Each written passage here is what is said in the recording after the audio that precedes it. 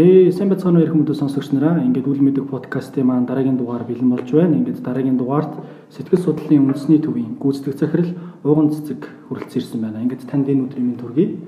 За баярлалаа. Сонсогч нарт маань та өөрийгөө товч танилцуулаач. За би болохоор сэтгэл судлаач мэрэгчлээ. Энэ мэрэгчлэрээ 16 дахь жилдээ яг практик салбар дээр ажиллаж байна. За ер нь бол одоо сэтгэл судлалын салбарыг бүр одоо чимээгүй хаас нэг юм да тий эхэлж ерөнхийдөө ажлын гараагаа эхэлсэн. Тэгээд одоо ер нь бол тодорхой хэмжээгээр бас хүмүүс сэтгэл судлал, сэтгэл судлаач, сэтгэл судлалын шинжилгээ ухаан гэдэг зүйлийг бол бас тодорхой хэмжээгээр тань мэдээд ингэ явж байгаа. Тэгэхээр тэрэнд нь одоо бас өөрийн гэсэн хувь нэмрээ оруулаад явж байгаа тийм сэтгэл судлаач байна. За ер нь яагаад та энэ мэрэгжлийг сонгосон бэ? Аа Тэгэхээр э, би яг мэрэгчлээ сонгоход бол 2000 он байсан. Сургуулаа төгсөө 2000 он тэгээд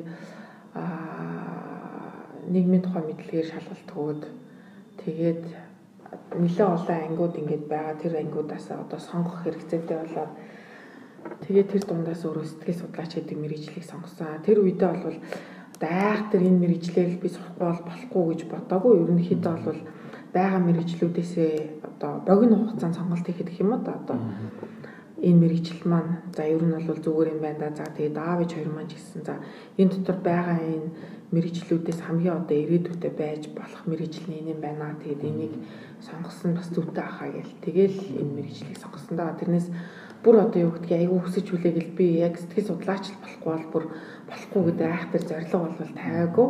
Тийм. За Тэгвэл э, сонгосон мэрэгчлэр юу нэг ажиллахад ямар санагддаг байд энд? Аха сонгосон мэрэгчлээ тэгэхээр нүг мэрэгчлээ сонгоход ингээд нэг юм хоёр талын юу ялгаа байд юм шиг ба. Өөрөө ингээд бүр хүсэж тэрэндээ тэмүүлж нэг ингэж одоо тэр зүйл рүүгээ орох. Эсвэл одоо над чиг магтгүй за энэ бас ирээдүйд гайгүй байж магтгүй юм байна гэд гэр бүлтэйгээ эцэгтэйгээ зөвлөлтөөд те тэгээд тэр шийдвэрээ гаргаад ингээд явах тэгээд би бол тэр хоёр тун нисэн нөгөө өөрөө бүрэн бүтэн тэр мэрэгчлээ ойлгоогүйгээр ингээд орсаа. Гэхдээ явцын дунд яасан бэ гэхээр миний өөрийн тэр би хүн гэх юм уу, суур хүмүүжил гэх юм уу, тэр төлөвсөн байдалтай маань энэ мэрэгжил маань өөрөө айгүй сайн зөгцсөн. А тэгээд одоо юу гэдгийг 2 3 дугаар курсээс яг энэ мэрэгжилтэй өөрөө айгүй ингээд дурлсан гэх юм уу да тий. Илүү ингээд а энэ бол над тохирох юм байна, таарах юм байна. Энэ мэрэгжилчээ өөрөө бас ирээдүйтэй юм байна. Би өөрөө хичээх юм бол одоо надад бас боломж байгаа юм байна гэдэг зүйлээ илүү олж харсан гэх юм уу та тий. Тэгэд илүү одоо мэрэгжилтэй ингээд дурлаа явж байгаа. Тэгэхээр одоо ингээд мэрэгчлэрээ тууштай ингээд ажиллаа явж байхад бол мэрэгжил маань надад маш их таалагддаг. Өөрөөр хэлбэл одоо мэрэгжилтэйгээ би өөр айгүй тийм энийг хийсэн гэх юм уу та. Тийм. Тэгэхээр одоо бол мэрэгжилтэй би маш их дуртай, маш их хайртай. Тийм ч учраас одоо юу тийм ингээд нөгөө туугштайгаар энэ ажил мэрэгчлээ ингээд эзэмшээ явж байна да. За. Таны сонгосон мэрэгжил ер нь ямар ур чадваруудыг шаарддаг вэ? За, сэтгэл судлалын мэрэгжил бол маш их олон төрлийн ур чадварыг шаарддаг. Тэгээд энэ маань бол нөгөө hard болон soft skill-үүд гэдэг байгаа. Ялангуяа одоо нөгөө тэр soft skill гэдэг байгаа тийм аа хүнийг сонсох, хүнийг ойлгох, өөр өөрийгөө ойлгох. За тэгээд одоо бусдад зөв зөвтэй одоо харилцах тийм юмд хүлээцтэй байх гэт ингээд айгүй олон төрлийн тэр ур чадваруудыг шаарддаг. Нөгөө талаараа энэ мэрэгжил маань бас нөгөө сурж байгаа да эзэмшиж байгаа хүмүүсээ өөрөө давхар бас хүмүүжүүлээд явдаг. Нэг талдаа мэрэгжил хүнд шаардлага тавьдаг ч гэсэн нөгөө талдаа бид нэр тэр мэрэгжлээрээ одоо эзэмснээрээ буцаад юу гэх юм өөрөө өөрөө айгүй сайн хүмүүждэг гэх юм уу да тийм одоо онцлог давуу талтай мэрэгжилтэй.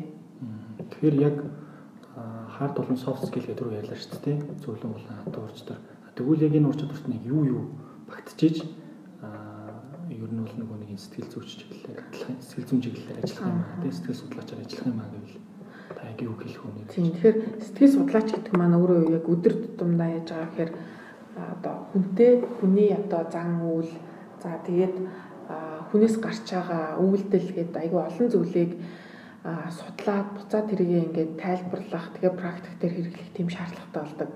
Тэгэхээр юмд одоо зөв үнэлэлт өгнөлт тэй байдаг. Сэтгэлийн хөдөлгөөнөө тодорхой хэмжээгээр өөрөө удирдах, залдаг тий. За тэгээд одоо альва зүйлд ингээд нөгөө судалгаа шинжилгээ хийх шаардлагатай болно гэхэр чинь бас юмд одоо бас хүлээцтэй байх хэрэгтэй. Өдөр тутамдаа одоо хүмүүс зөвлөгөө өгч ажиллана гэвэл бусдыг аягуулсан сонсдог байх хэрэгтэй. А нөгөө талдаа бусад хүмүүст одоо мэдээлэл хүргэж байгаа гэдэг утгаараа бусдад аягүй сайн юм ятхан үнэмшүүлэлт хийдэг байх хэрэгтэй тий.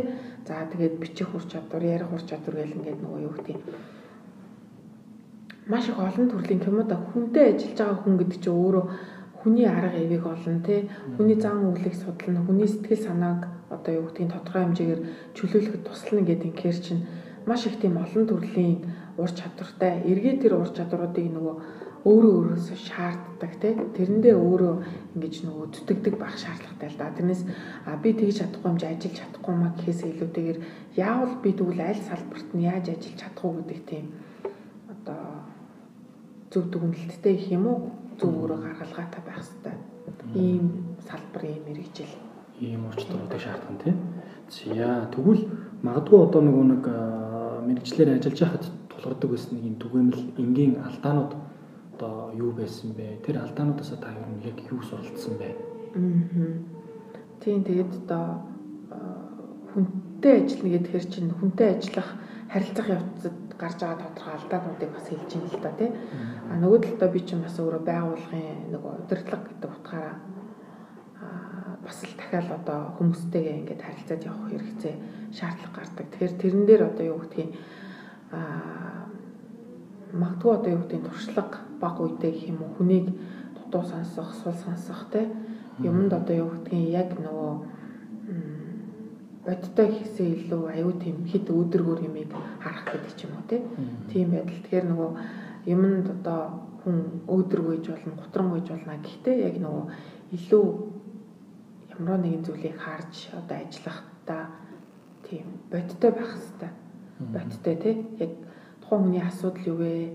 А тэрэнд би хэр зэрэг бодтой хандаад байна. Хэд тэр юмыг ингээд нөгөө хийсвэрээр өөдрөг байдлаар харах гэдэг нь үү? Эсвэл одоо юу гэдгийг бага болж байгаа процессыг айгуу тийм сулбар юм нэг үлбгэр пессимист талаас одоо харах гэдэг нь гэдэг ч юм уу тий. Тэгэхээр тэр нөгөө ийм хандлагын асуудлууд тэг юмыг харах тэр үнцгийн асуудлууд гэх юм уу да тий.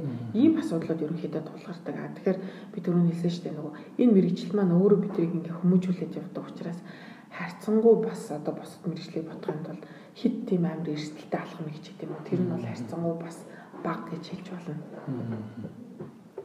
За. Мэргэжлэрээ тэгвэл одоо ажиллаж явах үеийн амжилттай хэрэгжүүлсэн туршлага бол ямар туршлагыг нэрлэх вэ? Тийм тэгэхээр одоо сэтгэл судлалын шинжилгээ ухааны чинь бид нэр одоо хэрэглээ олгын нэвтрүүлэг гэл ингээл одоо зориод явж байгаа тийм байгууллага хамт олон би өөрөө бас тийм одоо мэрэгчлэлтэн байгаагийнхаа хувьд маш олон төслүүд дээр орж одоо ажиллаж илаа. Олон сайхан хүмүүстэй танилцлаа. Олон гоё төслүүдийг хэрэгжүүллээ. За тэгээд энэ дунд бол олон улсын томхон одоо байгууллагуудтай тийм ажиллаад одоо ч гэсэн үргэлжилж байгаа одоо гой гой төслүүд байна л да. Томхон за тэгээд дунд хэмжээний богино хэмжээний одоо богино хугацааны төслүүд бол байгаа. Тэгээд тэр дундаас бол юм сургууль дээр сэтгэл судлаач ажиллуулах тэр төсөл дээр бол манай байгууллага одоо орж ажиллаж байсан эхний жилүүдэд. Тэгээд бас энийг одоо юу гэдгийг төр засгийн байгууллагуудад хүргэх тал дээр айгүй олон удаа бол бас одоо яамдруу гэдэг юм уу шийдвэр гаргах төвчний хүмүүстэй уулзалт одоо хийж явсныхаа үр дүнд бас тодорхой нэг үр дүн өөр яасан бэ гэхээр сургууль болгоныг бас сэтгэл судлаачтай болгох тийм үр дүн шийдвэр бол бас гарсан байгаа. Энэ одоо төсөлтөй бол бас айгүй таатай байдаг. Энэ төслийн хажуугаар бид нар бас яг одоо юм баримтат кино бас хийж исэн. Тэр нь юу гэхээр яг одоо сургууль дээр одоо сэтгэл судлаач ажиллаад ямар ийм үр дүн гарсан бэ гэдэг тийм одоо баримтат кино л да. Тэгээд тэр нь бол одоо ажиллаагүй үед ямар гэсэн ажилласны үед дараагаар эцэг эхчүүд хүүхдүүд яаж ерөнхийдөө өөрчлөгдсөн ингээд тэгээд тэр төсөл маань хэрэгжснээс хойш аюу олон жил одоо бас ингээ өнгөрсөн ч гэсэн юу гэхээр яг тэр төсөлт маань өөрөө хамрагдаа сэтгэл судлаачтай уулзаад явж байгаа явж исэн сурагчд маань маш амжилттай. Маш мундаг тийм бие хүн мундаг оюутнууд мундаг ингээ аав ээж болоод эргээд дахиад бид нартай ингээд холбогдсон. Цөөнгөө тохиол бас байгаа. Бидний амьдралд амьдралын чанарт маань маш одоо ийм сайнаар нөлөөлсөн гэдэг тийм. Мөр одоо юу гэдгийг хотын аслагдсан одоо тэр сургуулийн сурагч ийм хүүхдүүд за нэг хоёр хүүхэд яасан бэхээр бүр гадны маш их өндөр тэтгэлэгтэй одоо сургууль яваад ирээ дахиад бид нартай холбогцож гэдэг юм уу те ингээд ийм нөгөө нэг том төслүүдэд орж ажилласны үр дүнгээр эргээд дахиад хүний амьдралын чанар дээр гарч байгаа өөрчлөлтүүд нь бидэрт бас сайхан санагддаг. За ингээд дэлхийн зөвнөр хэрэгжүүлсэн төсөл маань байгаа юм. Good Neighbors гээд бас олон улсын байгууллага дээр хэрэгжүүлсэн сэтгэл зүйн зөвлөгөөний төслүүд байна. Тэгээ тэрэн дээр бол бас хүмүүсийн амьдралын чанарт маш их өөрчлөлт гарч байгаа. Ингээд хүн зөвхөн анхдагч хэрэгцээг хангахаас гадна нөгөө талдаа тэр нөгөө нэг яриах, сонсох, хүн гэдгийг мэдрэх тэр харилцаа ямар чухал юм бэ? Энэ нэргээд гэр бүлийн одоо харилцаанд хүүхдээ хүмүүжүүлэх тэр байдалд маань ямар чухал нөлөө үзүүлсэн бэ гэд бас ийм одоо төсөл байна. Аа сайхан сэтгэл төв гээд тэр төвтэй ажиллаж явж байгаа тийм төсөл маань байна. Аа бас өөр одоо юу гэдгийг нөгөө мэрэгчлэтнүүдийг сэтгэл судлалын мэрэгчлэтнүүдийг чадахжуулах манай зөвлөгөө хур чадрын одоо сургалт тэгээд бас их том юм төслөөдөө тэр тэрэн дээр яг одоо нөгөө хүнтэй ажилтдаг мэрэгчлэтнүүдэд бид нэр академик чадвараа олоод авцсан ихтэй зургуулаа төгссөн мэрэгчлэтнүүдийг эргээд дараагийн төвшөнд нь бэлтгэх нөгөө аа практик салбар дээр ажиллахад нь тусалцаа үзүүлэх тийм бид нар чинь дотроо арга зүй одоо хэрэгтэй байдаг учраас тэрийг дэмжсэн ийм одоо сургалтай энэ сургалт маань эргээд дахиад бусад ижил төстэй ийм сургалтуудаас юугаар ялгаатай гэхээр яамны одоо бүр зөвшөөрөлтэй тий тусгай зөвшөөрөлтэй чадамжийн гэрчлэгээтэй ийм сургалт болоод өргөжөд явж байгаа. Энэ бол бас манай нэгэн том одоо алсын хараа нөгөө мэрэгчлэнүүдэд чадахжуулах гэдэг тэр хэсэгт маань ороо явж байгаа ийм төсөл байгаа. Тэгэхээр зүгээр ингээд санаанд маань ороод урдж байгаа гэх юм бол юм байна. Тэгээд ер нь бол манайх жилдээ одоо ямар ч байсан нэг 3-аас 4 том төсөл авч хэрэгжүүлээд тэгээд тэрнийхээ үр дүн бол аль болохоор ингээд нөгөө дүрсжүүлээд видео болгоод аудио болгоод эсвэл одоо ном тохиомол болгоод гэдэг юм уу тэгж үлдээх хичээд байгаа. Маш сайхан сайн туршлага байна тий. За сайн мэрэгчлэн гэж юу гэдэг бол хэнийг хэлэх вэ? Таны бодлоор сайн мэрэгжилтэн гэдэг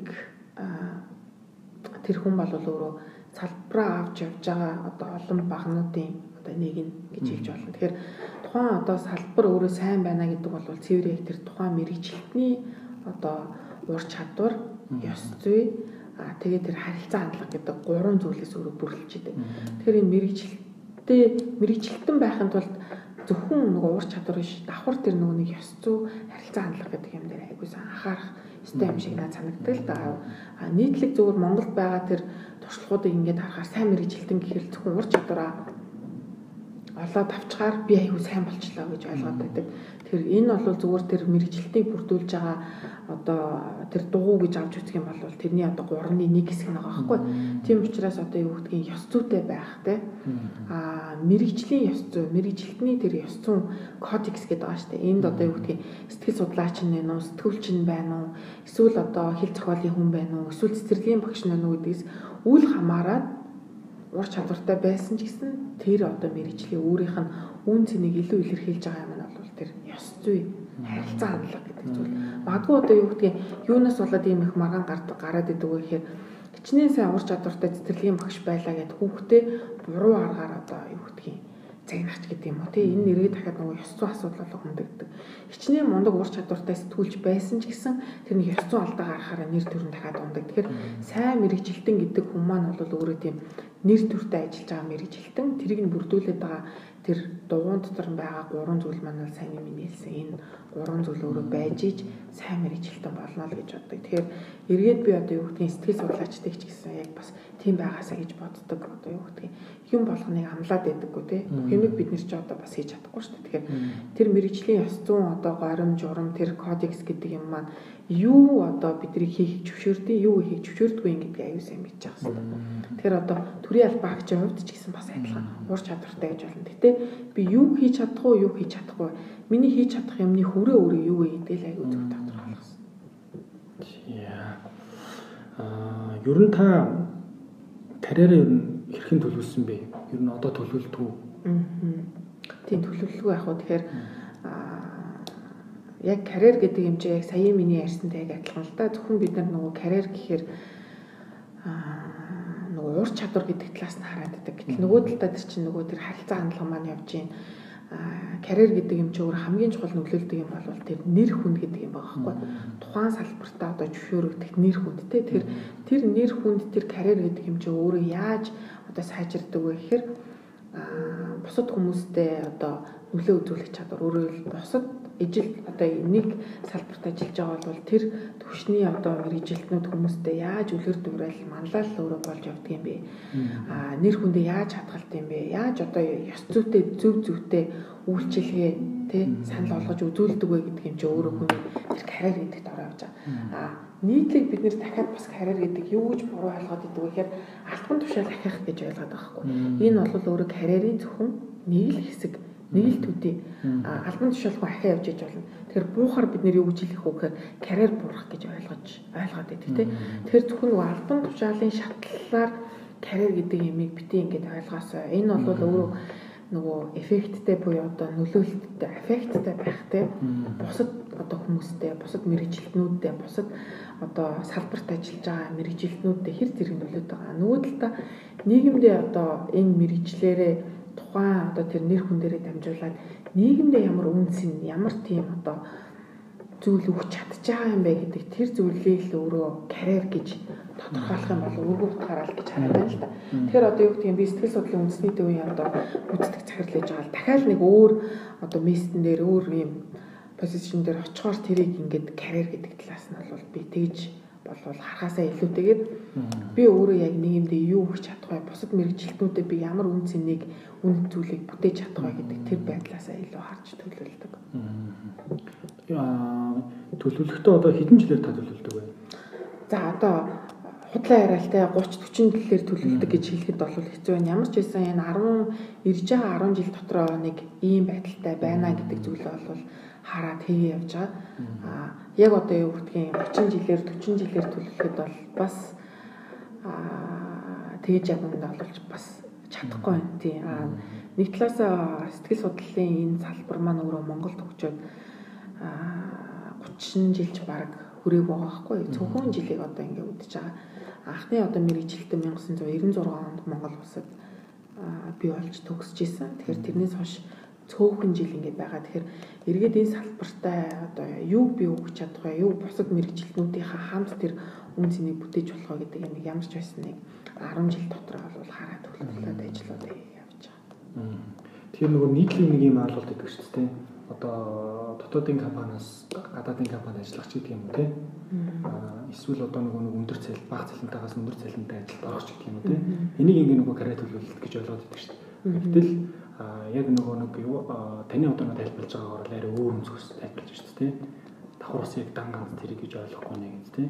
Тий, илүү нөгөө нэг энэ мэрэгжил гэдэг юм чи өөрөө нэг бие хүнийг өөрийг ингээд амжилттай сайн сайхан явахаас гадна өөрөө юу гэхээр нийгэмдээ тодорхой хэмжээний юм үр өгж өгч явах хэрэгтэй байхгүй энэ мэрэгжил гэдэг зүйл маань мэрэгжил мэрэгчлэрээ дамжуулаад бид нар хөдөлмөр эхлэхэд байгаа шүү дээ.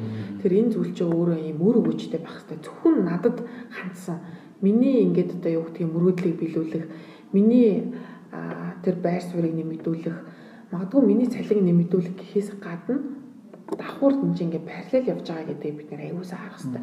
А зөвхөн тэр нөгөө нэг цалин зөвхөн одоо юу гэдгийг би тэгнэ гэдэг ингээ харчих юм бол энэ зүгээр нэг юм модон зүгээр нэг юм нэг ганцхан юм шугам болчихж байгаа байхгүй. Тэгэхээр энэ чинь өөрөө ингээд хүн ямар ч мэрэгжил эзэмсэн бай, ямар ч хөдөлмөр эрхэлж исэн бай, энэ маань ингээд бусдад өөрөө өгчтэй. Өөрөөр хэлбэл нийгэм гэдгийг бид нар бас их томоор бодоод аа би нэг юмдээ юу гэж нөлөөлөх үү гэдэг ч юм уу гэдэг. Тийм биш. Энд чинь ингээд эргээд юу гэдэг бусад хүмүүст хамт ажиллаж байгаа хамт одоо тухайн салбарт байгаа мэрэгжилтнүүдтэй нөлөө үзүүлж байгаа байдал те тэр мэрэгчлээ төлөөлж өөрийгөө гаргаж байгаа тэр нэр дөр үн цэн гэдэг юм чинь эргээд дахиад нийгэмдээ маш том одоо үнэт зүйлийг бий болгоод явдаг гэж би хувьдаа ерөнхийдөө бол тэгж ойлгодог. А эргээд одоо юу гэдгийг ажлынхандаа ч гэсэн хамт ажиллаж байгаа одоо бусад салбарын мэрэгжилтнүүдтэй ч гэсэн айлхаар тэр талаас нь ойлгуулж тайлбарлахыг хичээдэг. За тэгвэл одоо таны нөгөө нэг ажиллаж байхдаа ч юм уу сонссон тийм үнэтэй зөвлөгөө гэвэл та яг ямар зөвлөгөө болов уу? Аа бидрийг яг сэтгэл судлалын мэрэгчлэр төгсөж байхад би өөр Монгол Улсын их сургуулийг төгссөн. Тэгээд техникийн эрхлэгч манай багш доктор профессор Туяагийн багш маань хэлжсэн бидрийг. За тухайн мэрэгжилтэд одоо амжилттай ажиллахын тулд нэг бол анхдагч нь байх хэрэгтэй. А хэрвээ анхдагч байж чадахгүй бол хамгийн сайн нь байх хэрэгтэй. Тэгэхээр энэ хоёрын айл нэг нь байх гэж л хичээхийг та нар одоо оролдоорой гэж ингэ хэлж ийсэн. Тэгэхээр яг тэр одоо хэлж исэн үг бол ингээд тэр багшийн маань алтан сургаал бол надад айгүй тийм үнэтэй санагддаг. Тэгээ аль болохоор тийм байхыг хичээдэг. Тэгээ тэр маань ингээд нөгөө бидний барьж явах гэх юм уу да нөгөө чиг баримжаа авч байгаа алтан гац гэх юм уу да тий. Ерөөсөө л юмыг ингээд нөгөө оромдохгүй байх тий. За хэвдээ энэ нэг удаагийн юм гэдэг ч юм. Тэххгүйгээр хийж байгаа бүх юмдаа бүрэн дүүрэн сэтгэл санаагаа, бүрэн дүүрэн уур чадвараа, түрүүн би хэлсэн тэр ёс зүйтэйг ирэх юм уу да тий. Юмыг ингэж хийх. Тэгээ эргээ тэр нь одоо юу юм бусад хүмүүс ч гэсэн энэ үйлчлэгийг авч байгаа хүмүүс ч гэсэн үлгэр дуурайл болоосаа нөгөө талдаа энэ салбарт хамт ажиллаж байгаа бусад одоо салбарын тэр хүмүүс ч гэсэн аюу таны юм үлгэр дуурайл болоосаа гэдэг утгаараа аль болохоор ямиг чанартай сайн тий гүйцэтгэх хичээдэг. Тэгэхээр нөгөө илүү сайн байхыг одоо хичээдэг гэх юм уу да. Тэр бол хамгийн одоо үнэтэй зөвлөгөө гэж ойлгож байна. Сайхан зөвлөмж байна тий. За та өөрийнхөө одоо нөгөө карьерийнхаа туршлага өөх төхөөс уулзаж одоо ажлын гараагаа хаанаас эхэлж байв те. Тэгээд одоо сэтгэл судлалын үндэсний үрээ үндэсний төвийг те яаж үүсгэн байгуулж ив гэдэг. Ингээд ажлынхаа уулзаж ий. За тэгээд 2000 оны ихээр би ерөөхдөө Монгол Улсын их сургуулийг төгсөөд тэгээд төгссөн жилдээ яасан бэ гэхээр их сургуультай буцаад магистр одоо болохоор суралцсан. Тэгээд магистрийн зэрэг горлохоор ингэ суралцсан. Тэгээд магистрийн зэргийг хамгаалаад хамгаалж явах явцдаа яасан бэ гэхээр яг бидрийг тэр төгсөж явах үед сэтгэл судлалын салбар маань ерөөсөө тийм үйлчлэгээ гэдэг тийм зүйл ерөөсөө байхгүй огт тэр их хүмүүс мэддэггүй байсан. Тийм учраас нөгөө ангийнхаа хэсэг одоо санаа нийлсэн хүмүүстэйгээ нийлээд нэг юм бас байгуулга оюун санаа шинээр ингээд ийм сэтгэл зүйн төв байгуулъя гэж санаа сэтгэл шулуудаад ийм төв байгуулсан. Тэгэхээр одоо Монгол баг тийм төв гэж байгаагүй төрөөмс байгуулагч гэж байгаагүй те. Ангаахын одоо сургуулийн сэтгцийн одоо техникийн хэдэн багш нар л нэг ийм одоо төвийн үйл ажиллагааг эрхлэх гээд дөнгөжтэй хэлж исэн тийм үе яагаад тэгээд анхны ерөнхийдөө ууган тэр сэтгэл судлалын байгууллагуудын нэг байсан. Тэр оюун санаа шинээр ингээд тэгээд тэр төвдөө ажиллаж хагаад хамтдаа одоо үүсгэн байгуулсан гол одоо бас хүн маань за би ингээд төр чөлөө амгаар байна гэд. Тэгээд тэр төвөө төв бол төрдөө ерөөхдөө орхиод. Тэгээд сэтгэлийн тал гээд төвийг бол хамтдаа бас ангийнхаа хүмүүстэй нийлээд үүсгэн байгуулсан. Тэгээд энэ төвдөө бол 2000 одоо 6-аас 10 оны хооронд яг одоо сэтгэл судлаачаар ажиллаад ерөнхийдөө бол одоо гол судалгаануудаа уу та тэг хийжсэн. Ер нь энэ сэтгэл судлалын үйлчилгээ гэж юм ямар байх юм, юу байвал зүгээр байдгийн. За тэр дундаасаа гадны бас одоо мундаг багш ирж биднэрт бол зуны сургалтыг бол бас явуулдаг байлаа.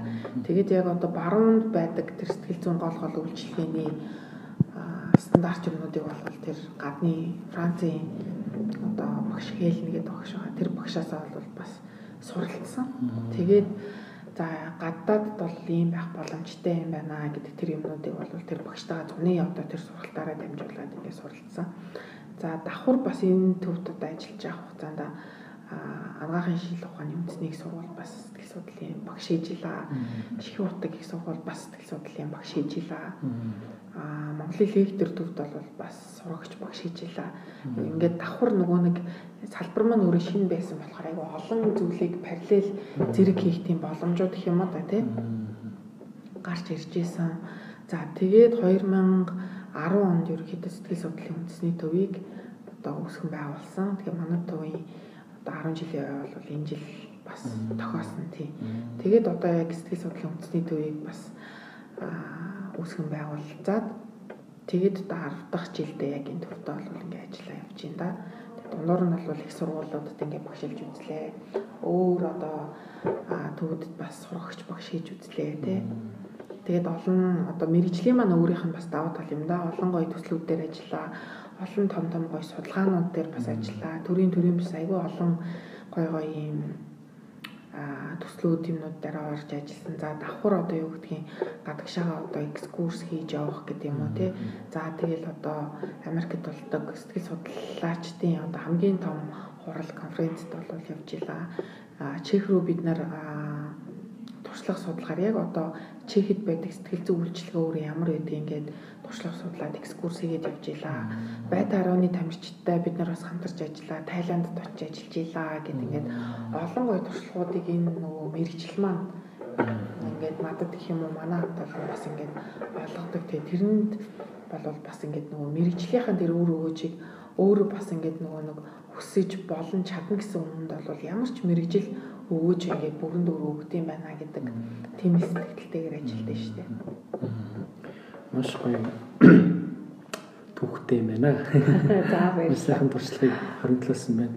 За магадгүй одоо энэ чиглэлээр нөгөө сурах гэж байгаа тийм аа эсвэл сурч байгаа дөнгөж ингээд төгсөөд за ажлын ажил дээр ингээд гарч байгаа энэ залуучуудад одоо хандаж та зүйл ямар зөвлөгөө өгөх вэ юм? Аа. Тийм тэгэхээр аа би нэг ялангуяа залуу одоо мэрэгжилтнүүдэд ингэж хэлмээр санагдтыг нөгөө сайхан сэтгэл дангаараа юу ч бишээ. Манайхаа нөгөө би хүн сонсож чаддаг учраас л одоо сэтгэл судлаач болмоор эсвэл би хүний зовлонг аягүй сайн хуваалцдаг учраас сэтгэл судлаач болмоор гээд зөвхөн нэг юм сайхан сэтгэл байдаг те. Тэгэхээр нөгөө тодорхой хэмжээгээр одоо бол мэдээлэлтэй болсон энэ сэтгэл судлалын салбар өөрөө юу вэ гэдгийг хүмүүс бас мэддэг болсон учраас төгсөж байгаа хүүхдүүд маань бол нөгөө мэрэгчлээ ялангуяа 12 дугаар ингээд төгсөж байгаа одоо хүүхдүүд маань мэрэгчлээ айгуу сайн судлаасай. Хэрвээ ингээд нөгөө нэг хаах бэрхшээлтэй ах юм бол ажиллаж байгаа хүмүүстэй зөвөр нүүр тулаад ирээд одоо уулзах бас болно тий. Тэр бол бас аюул чухал байдаг. Эсвэл одоо манад нилээдгүй сэтгэл судлалын чиглэлээр бэлтгэдэг ихтэй сургууль байдаг. Монгол Улсын их сургууль, Монгол Улсын боловсролын их сургууль байна. Хүмүүнлэгийн ухааны одоо их сургууль байна. Нутгийн нэг их сургууль байна гэд. Энэ сургуулиудаас өөртөө очиод яг тэр гол гол юмнууд энэ багш нараасаа одоо асуух боломжтой байгаа. Аа сэтгэл зүйн үйлчилгээ явуулж байгаа төвүүд дээр ирээд өөртөө бас мэдэх одоо боломжтой байгаа. Тэгэхээр нөгөө мэдээлэл өөрөө нээлттэй басан учраас салбарынхаа хүмүүстэй уулзч болно. Эсвэл тэр нөгөө мэрэгжилтэн бэлтгэж гарч байгаа багш нартай одоо уулзах, мэйл бичих те захаа бичих тэр боломж нь бол ингээд нээлттэй байдаг. Сэтгэл судлаачд бол тэрэн дээр одоо туслахад байнгын нээлттэй өглөөж авдаг.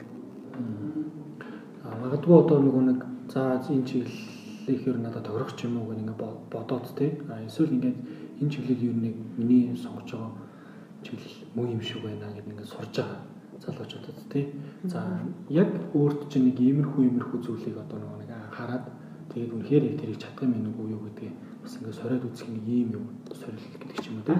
Эсвэл өөрсдөө нэг ийм талаас нь хөгжүүлвэл эсвэл ингээд сорилт ямар нэгэн тест ч гэдэг юм уу тий хэрвээ хийвэл ийм зүйл бас байж болдгоо шүү гэвэл танд тийм хуваалцах зүйл байна. Аа. Тийм тэрэн дээр хамгийн гол нь өөрөө юу гэхээр ялангуяа ихтэй зургуул яг энэ мэрэгчлэр сурж байгаа оюутнуудын хувьд дадлахчих хэрэгтэй. Тэгэхээр маш олон сэтгэл зүйн одоо мэрэгжлийн төвүүд байгаа. Тэр төвүүд дээр өөрийн биеэр ирж дадлахчих. Өөрөөр би ажлын байран дээр гарсны дараагаар юу хийж болох вэ гэдэг юмыг таамаглаад суухаас илүүтэйгээр яг тэр дунд нь ороод одоо дадлахчих хэрэгтэй. А тэгтээ дадлага ажлыг бол айгүй тийм зөв хийгээсэй гэж би боддог өөрөөр би юу сонирхож байгаа гэдгийг эхлээд тодорхойлоод одоо сэтгэл судлалч өөр маш олон салбар байгаа. Хүүхдийн сэтгэл судлал, спортын сэтгэл судлал, тий рекламны сэтгэл судлал гэл одоо хүн хаан байна тэнд байгаа. Тэр нэг тодорхой чиглэлээр барьж аваад тэргээрээ мэрэгших одоо боломж надад байна уу. Тэгээд ингээд дадлагдсанаар хүн яадаг вэ гэхээр үр ашиг үр өгөөж нь бол маш их гардаг. Тэгэхээр аль болохоор өөрийн биеэрээ тэр нэг дадлага ажлыг тий бас сайн одоо хийснээрээ аа ирээдүйд өөртөө хөрөнгө оруулдаг а нөгөө талдаа яадаг гэхээр маш сайн чиг баримжааг авч чаддаг. Төгсний дараагаар би яг ингэх юм байна да. Ийм зах зээл, ийм ажлын байр намайг хүлээж байгаа юм байна да гэдэг мэдрэмж өөрөө олж авдаг. Одоо ингээд сэтгэл судлаач гэдэг ингүүд их хвчлэн ингээд хүүхдүүд ингэж болдог шүү дээ. За нэг хүнтэй ингээд уулзах юм байна, нэлийн сонсох юм байна. Тэгэл ер нь ингээд тэр одоо нэг арга техникүүдийг ашиглаад нөгөө хүнд зөвлөгөө өгөх юм байна. Ер нь гайгүй юм байна шүү дээ. Ингээл боддог тийм. Гэтэл яг ингээд бодит байдал дээр ингээд шууд одоо төгсөөл ажил гараад эхлэнгүүт яг ямар одоо нэг зүйл өөрийг нутаж авах вэ? Магадгүй одоо нэг энийг олцоо сонирхолтой болт тий. Өөрийн чинь яг ингэж бодож төсөөлжсэн зүйл бодит амьдрал дээр юм байдгийн шүү тий. Хамгийн ихний ер нь бол бодит байдал яг ийм ийм зүйлүүдийг хийж эхэлнэ. Зүгээр ганцхан хүнтэй уулзаад дараах техникүүдээ ашиглаа суугаадах биш. Бас арай өөр зүйл байдгийн шүү та бас тэрийг. Тэгэхээр нөгөө сэтгэл судлаач хүний одоо хийдэг ажлын ерөөсөө нэгэн хэсэг нь өөрөө зөвлөгөөний ажил байхгүй. Тэгэхээр энэ бол өөрөө нэг салбартай сэтгэл зүйн зөвлөгөө гэдэг салбар. А энэс жангадан сая би хэлсэндээ маш олон юм салбар чиглэлүүд байгаа. Спортын гэх юм бол яг одоо спортын сэтгэл судлаач коуч хийгээд ингээд өөрөө явчихна. Тэгээд тэр дундаа дахиад яг юунийхаа тий сагсан бөмбөгийн багийн одоо сэтгэл судлаач болох гэдэг юм. Эсвэл байдараа нь явах гэдэг юм. Эсвэл буудлагыг болох гэдэг юм уу гэдэг чинь ингээд дотроо ингээд явна. Хүүхдийн сэтгэл судлал гэж байгаа. Насан туршид явах гэдэг байж байгаа тий. А эсвэл одоо юу гэдэг юм байгууллагын сэтгэл судлал гэдэг байна. Яг одоо байгууллагатай ажилт. Бүр одоо юу гэдэг юм сургуулийн сэтгэл судлаач гэдэг байна тий. Энэ болгон ч өөрөө тус тусдаа маш өөр өөр яг Монголд бол тодорхой хэмжээгээр төрөн бисэн 30 жил болоогүй ч гэсэн ингээд хөгжиж явж байгаа. Тэгэхээр Монголд бол одоо юу гэдгийг эмнэлгийн сэтгэл судлаачтай ажиллаж байгаа нэмлэг дээр байна те. Цагдаагийнхан байна. Хэлийн зэрэг дээр одоо юу гэдгийг яг хэл дээр одоо сэтгэл судлаач одоо байж байна. Аа дүүргүүд дүүрэг болгон дээр сэтгэл судлаачид байж гин тий. За тусдаа ингээд нөгөө бие даасан төвүүд дээр яг одоо зөвлөгөө өгдөг хүмүүстэй ажилтдаг юм сэтгэл судлаачид байж гин. Дан одоо судалгаан дээр ажилтдаг сэтгэл судлаачид гэдэг одоо бас дахиад тусдаа ингээд байгаа байхгүй. Тэгэхээр энэ нөгөө нэг сэтгэл зүйн зөвлөгөө гэдэг юм чинь сэтгэл судлаач хүний хийдэг ажлын одоо нэг хэсэг нэг л юм салбар нь гэж ойлгож болно тий. Мотор ярих юм бол нэг дахин хүчрэн байгаа байхгүй. Тэгэхээр зөвхөн тэр сэтгэл судлаач гэдэг юмыг хүнтэй яриа суудаг сэтгэл зүйн зөвлөгөө өгдөг гэдэг утгаар ойлгож болохгүй. Энэ бол нэгэн л хэсэг нь. Тэгэхээр ер нь бол нэлийн юм дээр бэлтгэлтэй байх нь тий. Тий, олон одоо зүйл дээр нөгөө төрөн ярьжсэн тий тэр ур чадвар тий ялангуяа тэр нөгөө soft skill гэдэг юм би юун дээр ажиллах вэ гэдгээс хамаараа судалгаан дээр ажиллах бол одоо юу гэдэг юм нэр одоо нөгөө анализ хийх нэгтгэн дүгнэх тэр чадвар гэдэг ч юм уу ингээс халаал явна л да. За та ер нь сайн дурын ажил хийдэг үү? Сайн дурын ажил хийн хийн. Тий тийм ажил хийхдээ бол бас өөрөө дуртай байдаг. Энэ ажил маань ч гэсэн өөрөө тийм нөгөө сэтгэл судлалын мэрэгжил ч өөрөө тийм өгөхч гэх юм уу та тий өгөхч байхыг шаарддаг өөрөө тийм мэрэгжил. Тэгээд аа бас одоо ангаахын шилэг ухааны үндэсний сургууль багшилдаг байхдаа оюутнуудтайгаа нийлээд аа Батцөмрийн асрамжийн газрын одоо газарт номын сангийн одоо бүр шинээр бий болгож илоо. За 1200 орчим ном хоёр удаагийн бид нэр одоо ингээд нөгөө хөрөнгө босголт гэдэгтэй адилхан ном босголт гэх юм уу да. Тэгээд тийм номын сангийг барьж одоо өгч исэн номын сангийг нь одоо бүтэн засвар хийгээд тэгээд одоо оюутнуудынхаа хүчээр маш олон зуун гоё тийм номтой одоо жишээл болгож исэн. Тийм энэ ажил маань байна. За тэгээд олон нөгөө нэг юм ивентүүд, ярилцлага, сургалтууд дээр бол бас ингээд очиод яриад өгөөч ээ, хилцүүлэгт орооч ээ, сургалтын дээр багшлаад өгөөч гэдэг. Тэгэхээр тэднэр дээр жишээ бол одоо ингээд ордог, багшилдаг, хэлэлцүүлэгт одоо панелист болдог те модератор болдог гэх мэтчлээ. Сайн дурын ажил хийх нь ер нь өөрт тань яг яагаад чухал гэдэг юм бэ? Аа нөгөө ингэдэг штэ нөгөө хүн ахваасаа илүү ерөөлтэй гэж те. Өгж байгаа хүн илүү их юм баяртай жаргалтай байдаг. Ер нь бол авж байгаагаасаа илүү баяртай байдаг. А өгж байгаа хүн бас давхар айгүй их суралцдаг өгж байгаа хүнд өгсөн юмнаас нь илүү юм дахиад өөртөө ингээд бий болдог юм да тий. Ур чадварч дээр, сэтгэл ханамж дээр, сэтгэл хөдлөлч дээр тий. Одоо тийм сайхан мотивац гэсэн тэр дахиад ингэ шинээр төрдөг байхгүй. Үн чи өөрөө юм статик юм тогтмол байх тусмаа л улам ингээл нэг газартаа байна.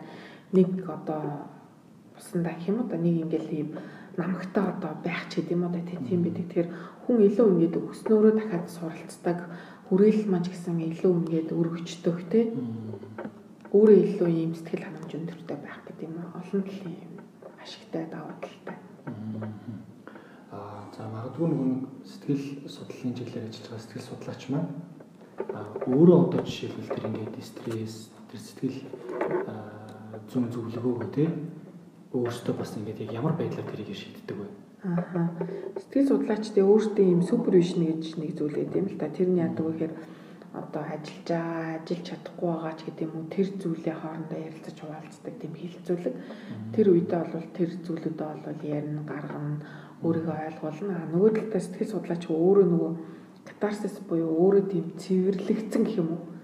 Нөгөө хотод гизсэн хүмүүс одоо төсөө цэвэрлэгтэй адилхан. Сэтгэл санаа нь байнгын юм одоо цэвэр цэмцгэрх юм уу да. Байж иж бусад хүн тусалж чаддаг. Тэрнээс өөрийнхөө асуудлыг шийдэг хүн бусдад тусалцаа үзүүлнэ гэж байна. За барагтай байхгүй дээ ер нь бол. Тий өөрийнх нь гизэн өвчж явж иж одоо юу гэдгийг бусад хүнд чи яаж гизж өгдөг байх вэ гэдэг заавал хэцүү шүү дээ тий. Тийм учраас өөрөө өөрөө сэтгэл санаа айгу зөв тайван доктортай сэтгэлийн хөдөлгөөний зөв зохицуулдаг байхад тэр мэрэгчлэнүүдийн одоо уулзалт хэлцүүлэг айгуу сайн тусалдаг. Аа магадгүй өөрөө бүр болохгүй байх юм бол дахиад сэтгэл судлаачдаасаа тусламж авах. Тийм боломж нь гэсэн хэлбэртэй байдаг. За аа хамгийн сүүлд болохоор яг нь би мартагдсан монгол үг гэдээ гаргаж ирээд байгаа юм. Тэр маань болохоор яг мартагдсан хэсэлүүдээр уул байдаг. Хуучны одоо нэг үг гэдэг чинь тийм юм өөгийн үед хэлдэг байсан. Нэг айгүй одоо нэг бидний загнахтаа зандрахтаа хүртэл ингээд айгүй нэг тийм сургаал ерөөл дээд юм шиг үг хэлдэг байсан шүү дээ тий. Тэгэхээр магадгүй одоо нөгөө нэг таны хүүхэд наснда сонсч ирсэн ч юм уу тий. Наснда сонсч ирсэн тийм одоо нөгөө хуучны үг байвал хуваалцаач. Дуурал хийж маань бол ерөөс ингээд ямарваа нэг юмыг ярихдаа тэгж одоо өглөөл, дуулаал, олон дахин хэлэл ерөөсөө тэгдэггүй.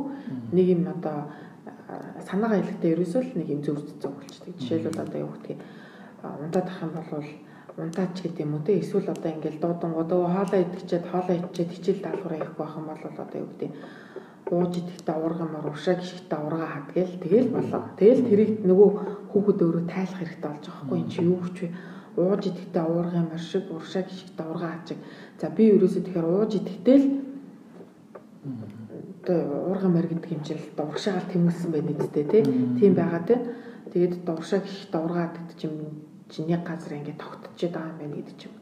Тэгэл ингээд тайлбарлцдаг гэсэн. Тэр бол яг ингээд надад гэх юм уу миний хүмүүжил гэдэг юм асар их нөлөө үзүүлсэн. Тэгэж нөгөө ер нь бол хүүхдээ аюу тийм таавар нь өөрийн чөлөөтэй байх хэвээр хэлэх гэж байгаа санаа товч тодорхой байх хэвээр гэдэгтэй л одоо энэ чинь хүүхдийн хүмүүжил дээр тийм байлгаа яриад байдаг шүү дээ.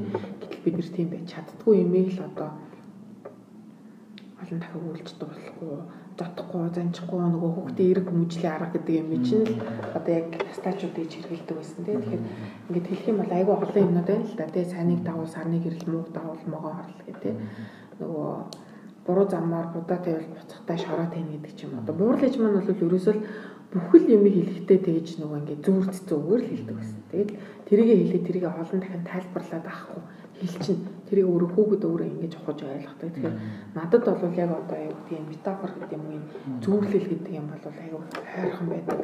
Аль болохоор тэрийг бас хэлжсэн зүйлүүдийг нь одоо ч гэсэн санд сэржтэй бодож эргээд дахиад өөрийнхөө өөрөөр хэлэх юмсаа дэж үлэрлэх юмсаа л гэж боддог. За маш их баярлалаа. Ингээд энэ удаагийн дугаарт маань сэтгэл судлалын үндэсний төвийн гүйцэтгэх захирал Уган цэцэг оролцлоо. Ингээд танд маш их баярлалаа.